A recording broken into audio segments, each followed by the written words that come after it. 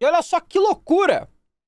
Um jogador, né, no YouTube, mas agora muitos já fizeram, mas na verdade esse aqui fez o recorde mundial, conseguiu zerar o novo Pokémon, né? O, o, Shining Diamond e o Brilliant Pearl, que eu estou jogando, inclusive, que eu tô gostando pra caramba. Eu tô aproveitando o jogo devagarinho e tal, nem tô gravando, só tô né, jogando off. Ele zerou o jogo em 33 minutos. Olha aqui, ó. 30, 38, 38 minutos. Tá aqui 38 minutos, o cara conseguiu zerar.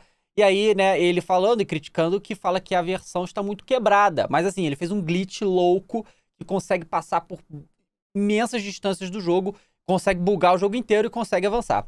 É, então dá para você zerar aí o recorde mundial no momento, é esse aqui, ó. Ah, não, ele botou aqui, ó, 33 e 10. Recorde mundial, vagabundo tá zerando aí o Pokémon. Eu vou jogar sem glitch, eu vou jogar assim, jogando o jogo mesmo, porque, né? Eu não joguei esse Pokémon na época que saiu lá atrás, então eu tô me divertindo pra cacete agora.